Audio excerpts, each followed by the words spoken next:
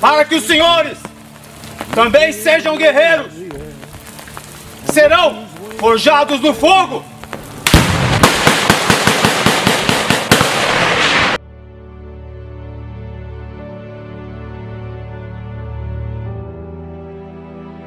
A primeira lição que eu aprendi foi: você vai cair. Você vai cair o tempo inteiro. Você vai cair mais do que você vai ficar de pé.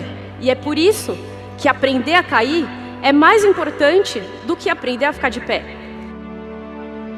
E a segunda coisa que você precisa saber é o que te motiva a levantar. Porque para levantar você precisa ter uma motivação. Você tem que levantar rápido para tentar de novo. E juntando essas duas coisas, que são os dias de zona de conforto e os dias que você se puxa um pouco mais, porque as coisas costumam acontecer quando a gente sai da nossa zona de conforto, é que gera a evolução.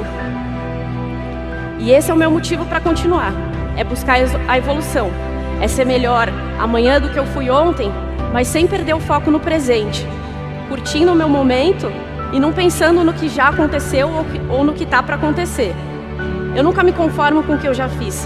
Eu sempre busco o novo e acho que eu consigo me superar a cada dia e a cada vez que eu ando. Isso faz com que eu seja uma pessoa aberta para novas oportunidades e para aprender com os meus próprios erros e buscar novos conhecimentos e estar tá aberta a pessoas que tenham alguma coisa para me ensinar ou situações que tem alguma coisa para me ensinar também. E acho que isso é uma característica em comum das pessoas que são bem-sucedidas. E só o que importa é o que você tem para fazer. É uma coisa que tem que ser sentida.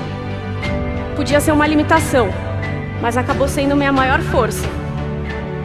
Ser o primeiro em qualquer coisa que vocês façam é explorar um território que não tem mapa. Você não sabe o que vai acontecer depois.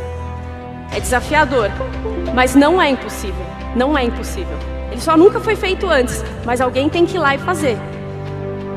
E vale a pena, porque depois você percebe o quanto isso inspira outras pessoas que vêm atrás de você a fazerem o mesmo. Só que eu percebi que o tempo inteiro eu estava distraída demais para dar atenção para ele. Então, de alguma forma, ele me perseguia e eu ia dando olé, lidando com ferramentas que eu julgava serem as melhores. Porque eu percebi que a mudança, ela não é racional, ela é política. Então eu sempre tentei ligar, lidar com inteligência em vez de força. E a resposta para essas pessoas veio não em forma de palavras, mas em forma de acontecimentos.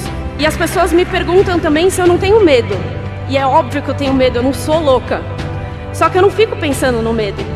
A gente tem mania de pensar que a gente é o centro do universo, né? Mas não é. Eu acho que eu aprendi com cada erro todas as vezes que eu caí, eu percebi que eu estava mais perto do acerto. Cada vez que eu errava, eu sabia o que eu tinha que não fazer. Você tem a vida que você merece. Isso é pesado, né? Mas se você reclama da sua vida hoje, você tem a vida que você merece ter. Você está completamente preparado para ter essa vida que você tem.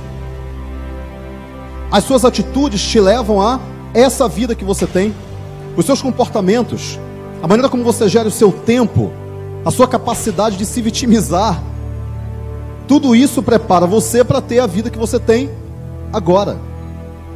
Então toma muito cuidado para você não achar que você merece mais do que na realidade você não merece, porque você não tem as atitudes necessárias para estar no outro jogo.